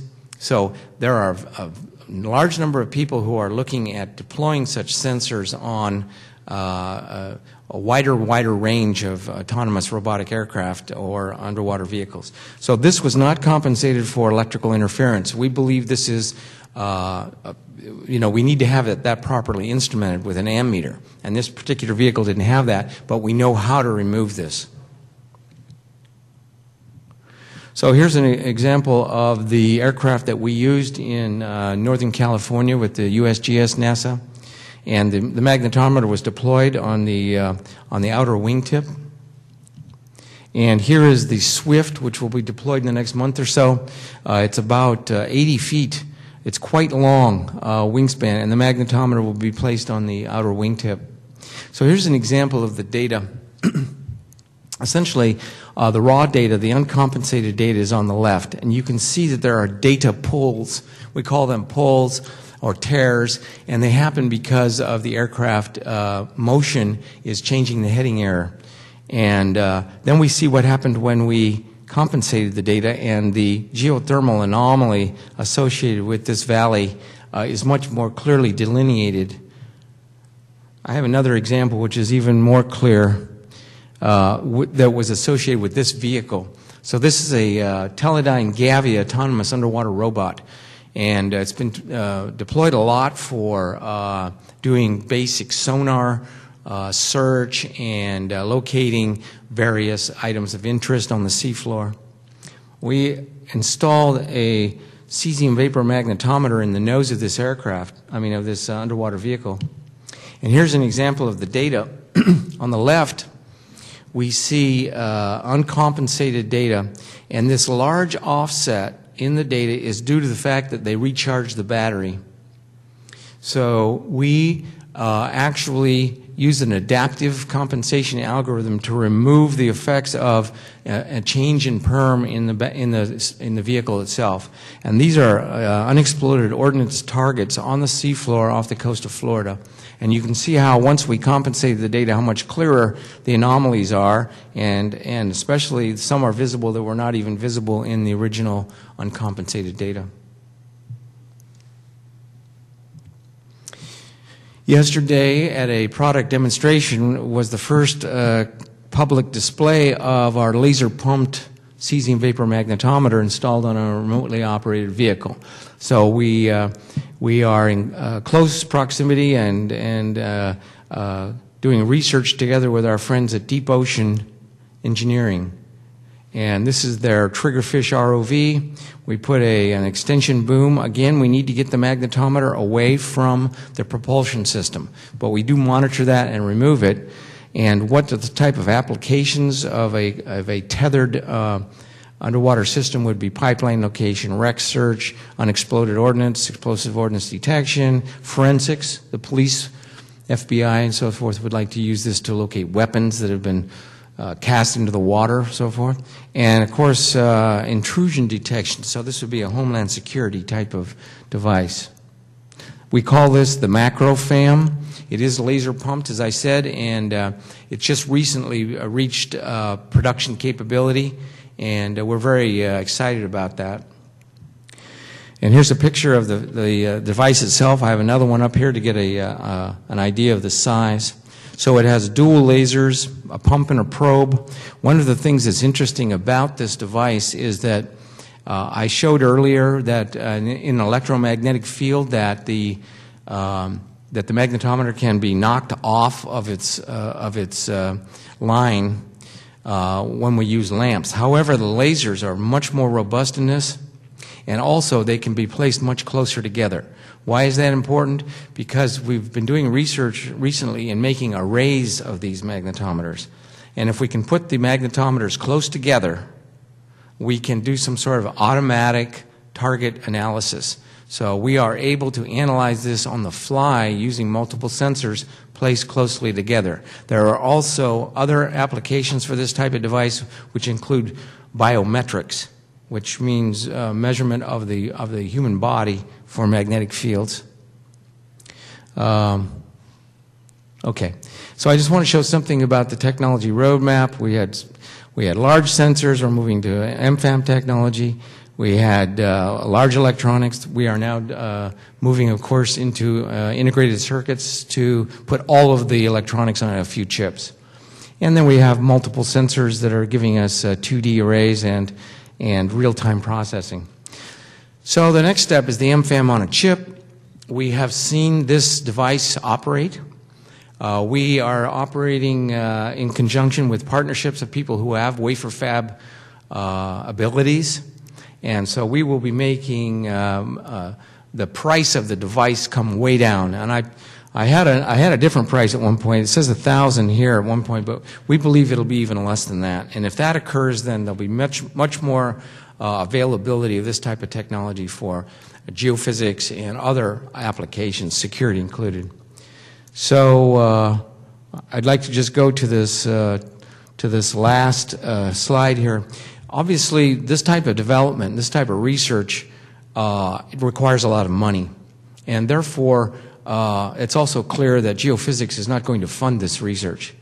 And so there are other applications which are actually helping us to devise this tool and make it fully operational at a price that uh, means that not thousands of them, but hundreds of thousands of them can be built. And we believe that this will be available in the next couple of years. So we've got uh, border perimeter type of uh, surveys. We've got ASW. We've got port and harbor security. There are medical applications, for instance, uh, monitoring brain waves. Uh, there's IED detection, fences, and geophysics. Thank you very much. Yeah, MFAMS stands for Microfabricated Atomic Magnetometer, which means essentially it's built on a chip. Okay. Thank you. Uh, any questions? One question. Yeah, could you discuss the sensitivity of the MFAM hertz? Right. Uh, our standard magnetometers are running somewhere between, uh, say, 4 picotesla per square root hertz. We have another system which we're releasing uh, this year, at the end of this year, which will do half a picotesla. The MFAM, we believe, will be in the 10 uh, picotesla range, which means that its noise will be approximately 0.1 nanotesla at 10 hertz. So uh, it's most maps are contoured at say half a, half a nanotesla or or a nanotesla. So a 0.1 noise is probably lost in the uh, in the noise. Thank you. Thank you. Our next speaker, eh, last but definitely not least, is Norm Carlson from Zonge International.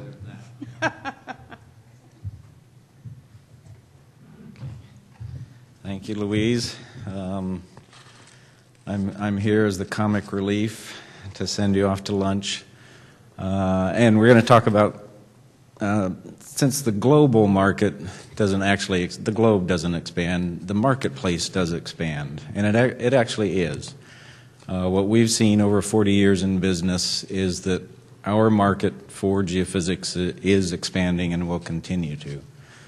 Uh, of course, traditionally, most applied geophysics dollars are spent in oil and gas, and then secondarily in minerals exploration. But it has been expanding, will continue to.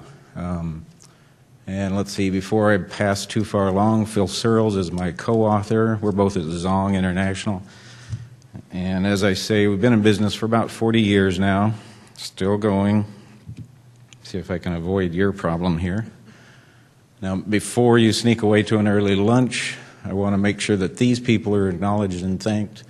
Uh, City of Tucson Environmental Services Department.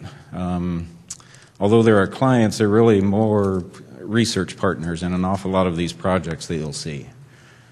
Um, now, to go through this expansion, um, my career is actually a good example of the expansion of the marketplace in geophysics and Zonge is the same way. It's a, it's, um, but anyway, so that you know who's talking to you, what my background is. What I've done is prepare a graph of my career in geophysics, and uh, being a ge- geoscientist, I graph everything. The x-axis here is time. Of course, time zero starts when you get out of college. That's when everything starts. The y-axis is the glamour index. Some jobs, some projects are more glamorous than others. Um, if you want to quantify the glamour index, you can think of it as how long will someone continue to talk to you after you tell them what you do for a living. Um, if you're trying to pick up somebody in a bar or mingling at a party or something like that, that's the glamour index. My career started in oil and gas, which is actually pretty high on the glamour index. I mean, that's oil and gas is power. That's money. You know, we have presidents and vice presidents from the oil and gas industry, sheiks of oil-rich nations. You know, that's a phrase that you hear at the end of a sheik's name. You know, sheik so and so of oil-rich nation of such and such. Oil and gas or power. So I started there in Western Geophysical and then United Geophysical, or vice versa. However, I moved on to minerals shortly after that. But gold, diamonds, silver, those are also fairly glamorous. I mean, you, I know for a fact you can go into a bar and pick up a girl if you can tell her that, well, I just got back from northern Canada doing a diamond exploration job, or um, uh, just came back from Mexico on silver exploration. The, these are things that keep the conversation going.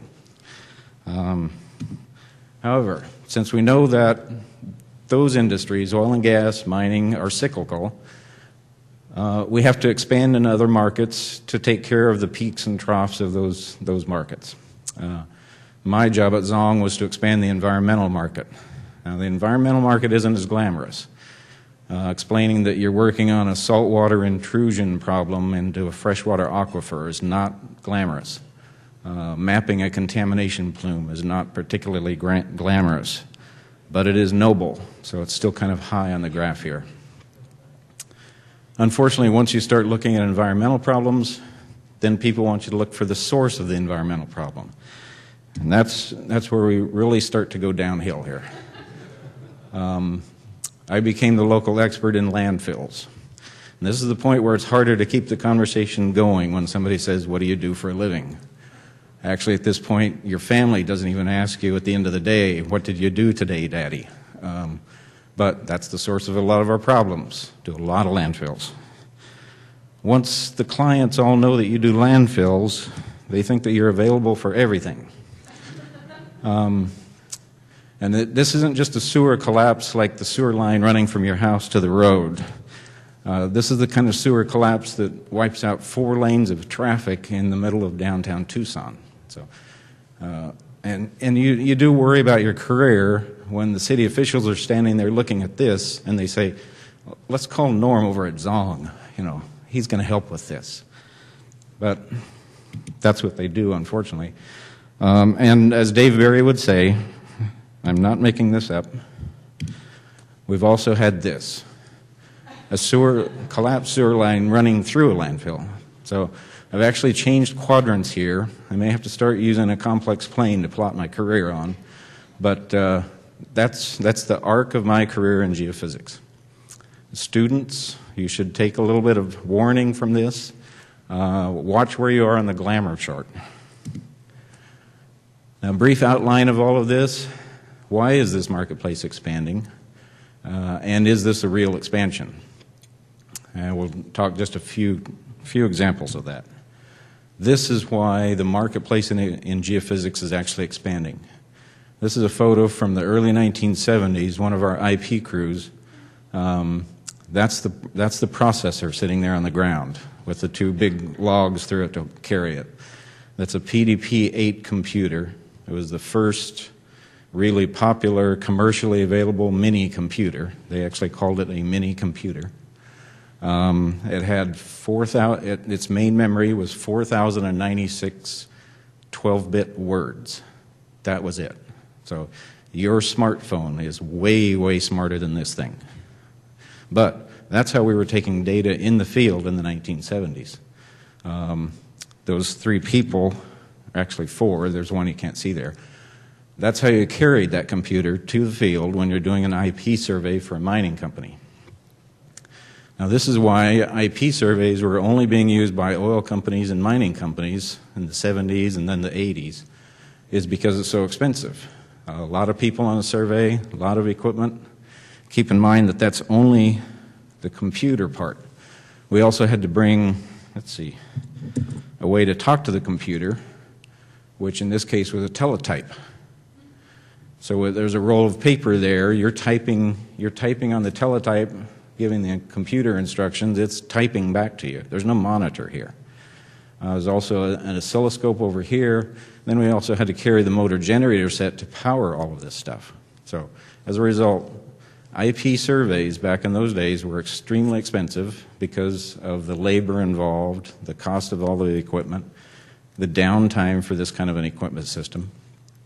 Um, as a result, the price of an IP survey is way beyond environmental companies, groundwater companies, uh, civic budgets, things like that. Compare that to now. This is our current receiver.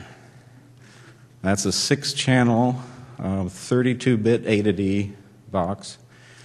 Uh, each individual channel, there's six of them in there, each individual channel has four gigabytes of memory.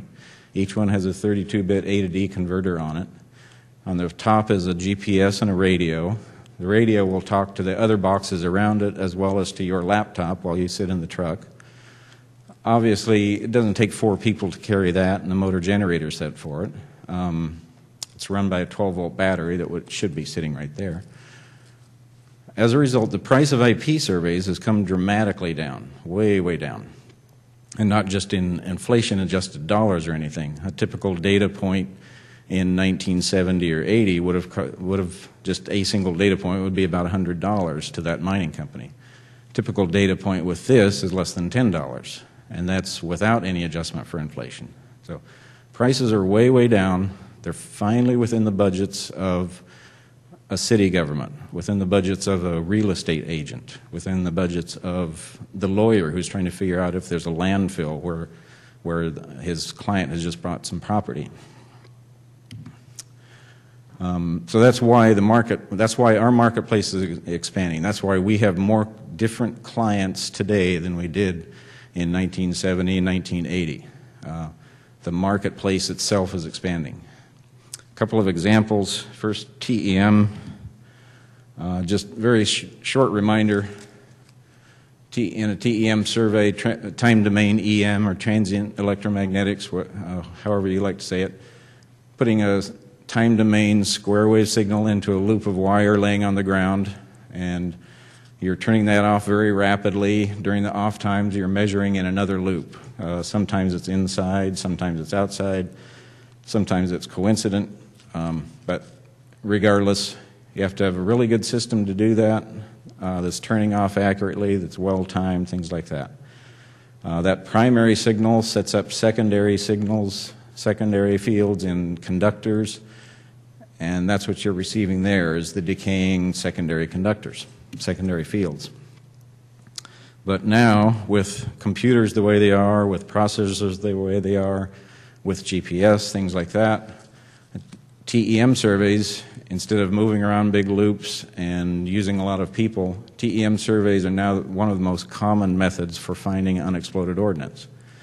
Uh, the transmitter loop is in the base here, receiver loop, one of them is here. We also measure all three axes, so there's the horizontal component of that magnetic field is being measured on an HY and an HZ, or HX and HY. GPS to map it, everything going on real time, storing the data, and then plot it plan views. Um, uh, the increase in processing power that you can carry on your back instead of four guys with a couple of two by fours has really brought down the price. If you expand that loop size a little bit in TEM, make that transmitter loop, say, three or four meters, and the receiver loop a, a bit bigger to get more signal, two meters here. Besides being a very efficient metal detector, now it's also mapping the subsurface, the upper few meters, upper tens of meters of geology. Uh, this is what we used on that Speedway sinkhole project where basically the whole road collapsed. Um, this is them setting it up. These are the pipes that have, are redirecting millions of gallons of raw sewage.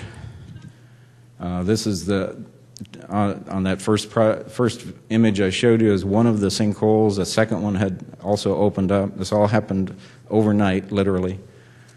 Uh, the actual sewer is down here under all the raw sewage. This happens to be a storm drain here.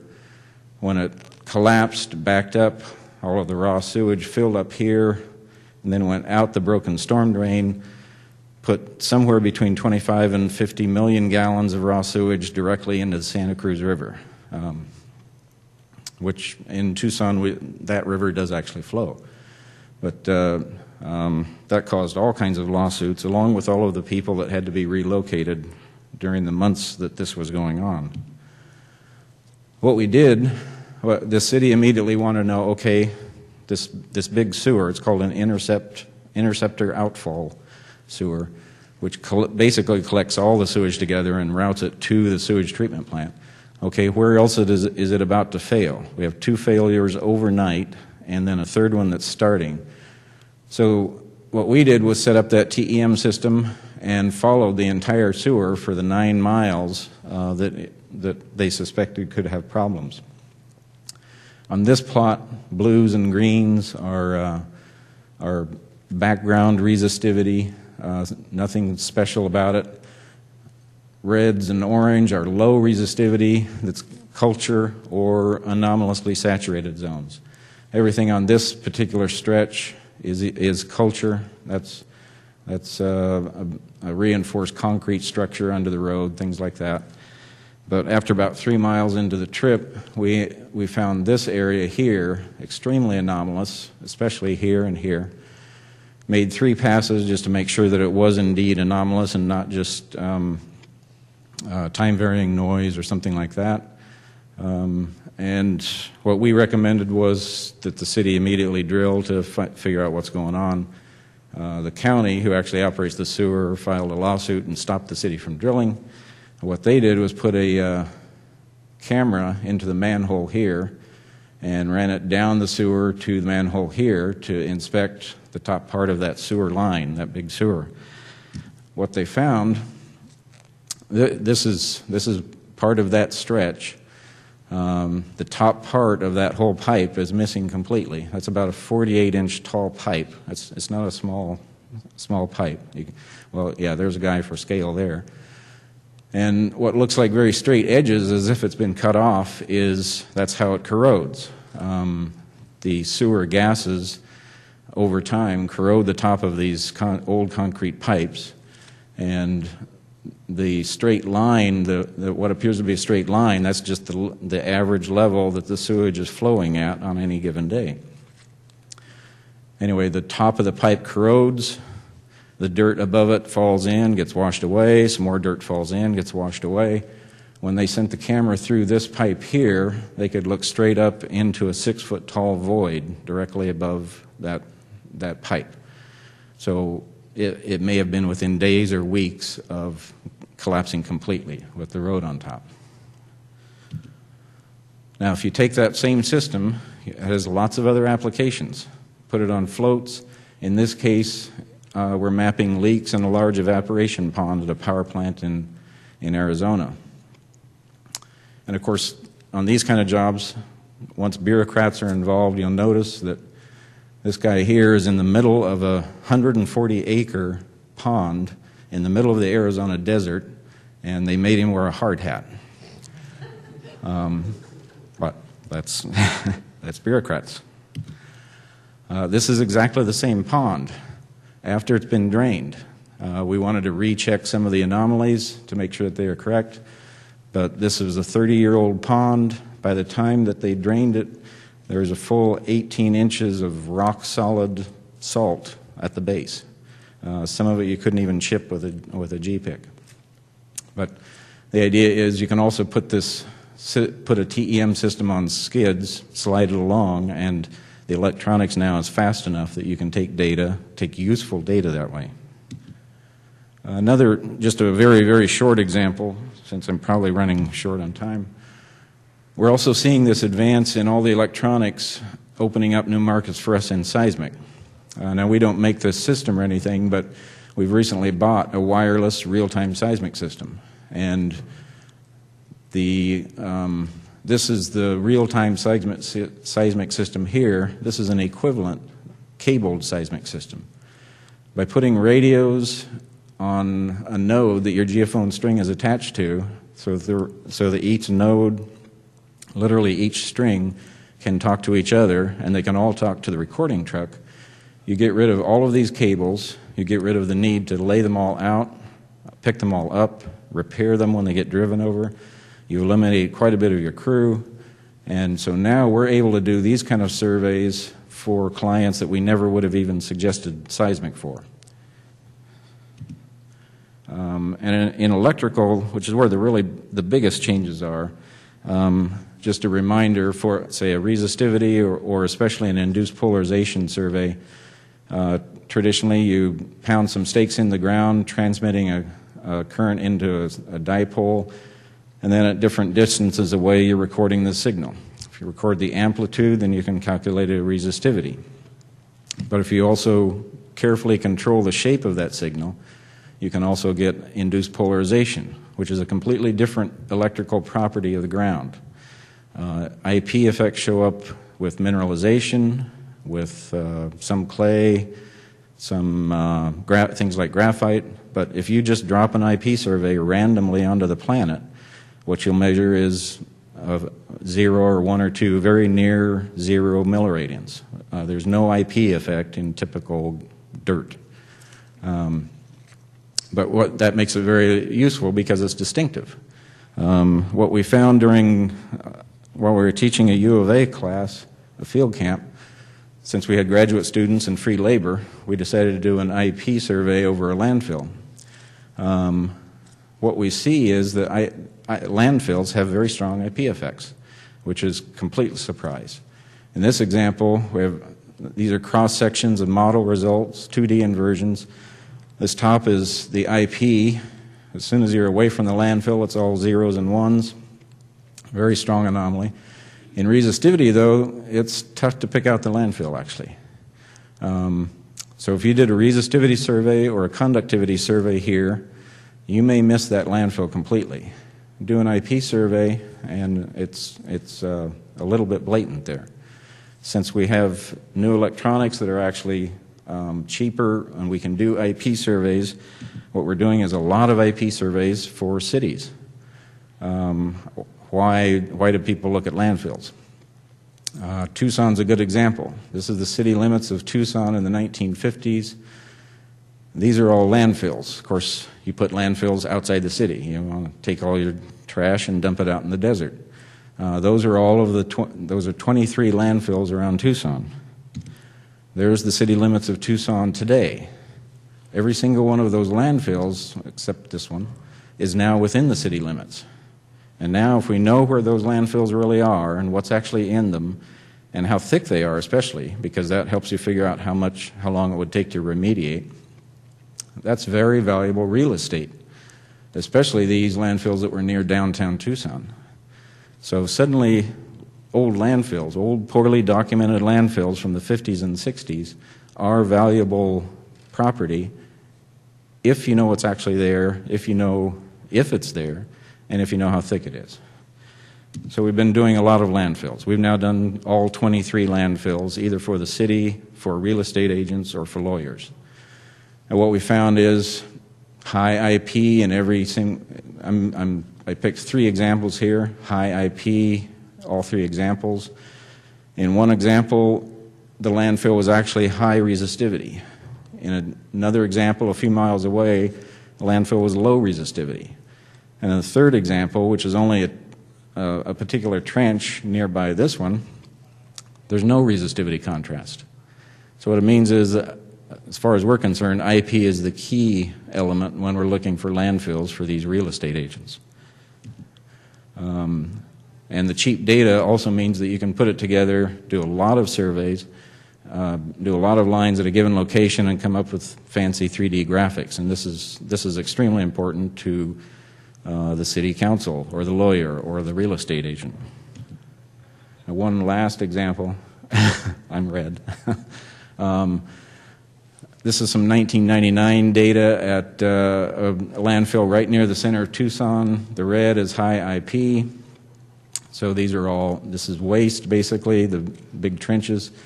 They did a lot of boring to verify things since there's all kinds of legal problems. Uh, this boring here in the red was indeed, uh, did encounter waste just less than 100 feet away. That little blue island uh, did not encounter waste. So we have a lot of faith in the data. What they're doing now, though, is uh, doing enhanced biodegradation of this area here to speed up the decay of that landfill. Because once it's sped up, then they can compact it, they can use the land for things. Um, what, they, what we've done is this is some 1999 data, this is 2009 data after three or four years of biodegradation. Huge change in the IP effect. What that means is that we can do 4D surveys of garbage, a 4D garbage survey that helps them figure out which parts of the landfill are properly decaying and which are not. Where should they add water? Where should they add air? Things like that. Um, so, to summarize, over time, um, the improved electronics are what's expanding the marketplace. Now we can do surveys that are, are genuinely inexpensive enough for a real estate agent to contract, things like that. uh, for a lawyer in his court case, for city council, because they're trying to sell off some old land they had. Um, many of these surveys are no longer just for oil and just for mining. And a completely different talk and much more involved will be the fact that the processing and computer modeling has improved so much. Now we do 3D modeling instead of uh, 1D and 2D, things like that. And that's also helped enormously in the sales of geophysics. Because one thing that you'll find out for the students here, one thing you'll find out is unless you're talking to the oil field geologist or someone like that, geophysics is kind of a black box. Um, I've frequently been in the field taking data when the lawyer or the real estate agent or the hydrologist even will come up and say, okay, what does your Ouija board say today? Um, it's, it's kind of, it's an odd thing. But that reminded me of a cartoon in the Environmental and Engineering Geophysical Society's cartoon calendar a few years ago. Uh, this, is, this represents the geophysical receiver in 65, all analog, has to be hand entered by the operator. But by circa 2000, fully digital, 24 bit MS DOS, MS Windows com- compatibility, LAN and USB, 40 gigabyte hard drive. The Ouija board has really improved things. And with that, we'll let Lou and Jerry send us off to lunch.